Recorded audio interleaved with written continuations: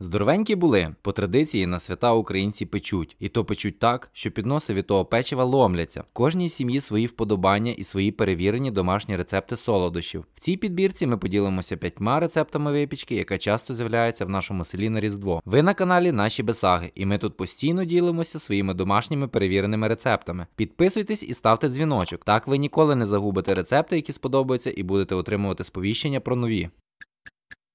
І так, розпочнемо ми з класичного традиційного українського медівника. Хоча пишуть деякі джерела, що в класичному не було меду, в нашому рецепті є кілька ложок цього продукту. Тісто до цього медівника робиться з додаванням кефіру, яєць, олії, ну і звісно підпаленого цукру, який дає темний насичений колір нашій випічці. Обов'язковим інгредієнтом нашого медівника також є волоський горіх, який доповнить смак. Ну і по бажанню можна також додати гвоздику, яка зробить його ще більш ароматним та збагатить отой букет смаків. Тісто робиться неважко, єдине, що потрібно, щоб воно ніч постояло і всередині відбулася молекулярна взаємодія всіх інгредієнтів. На другий день в духовку на 50 хвилин і отримуємо неймовірні аромати в оселі. Рідні, які впізнають цей запах, відразу позбігаються на кухню. А ті, хто жодного разу не їв, почнуть задавати запитання: а що це тут так приємно пахне? Мало не забув, всі інгредієнти і детальні покрокові рецепти ви знайдете в описі під цим відео. Також під час перегляду будуть з'являтися спеціальні карточки посилання, якщо ви дивитесь це відео на YouTube каналі Наші Бесаги. А це печиво, без якого не проходило жодного свята, особливо якщо на це свято з'їжджалися внуки та діти. От хочеш щось дати дати смачненьке своїм улюбленим розбишакам, засовуєш руку в вазу для печива, а там завжди воно є. Таке відчуття, що на свята воно ніколи не закінчується. Рецепт від бабусі пісочного печива на смальці, якого виходить дуже багато і вистачає на кілька святкових днів. Смак з дитинства, який можна пекти на будь-яке свято, зокрема й на Різдво. Ми з дружиною раніше навіть не здогадувалися, що в це печиво додається смалець, поки не зняли цей рецепт для вас. Ще для випікання використовується спеціальний розпушувач амоній харчовий, звідси й назва амонячки. Хоча пишуть, що його можна замінити і на звичайний розпушувач для тіста. Це якщо поблизу ви не зможете знайти цей секретний інгредієнт.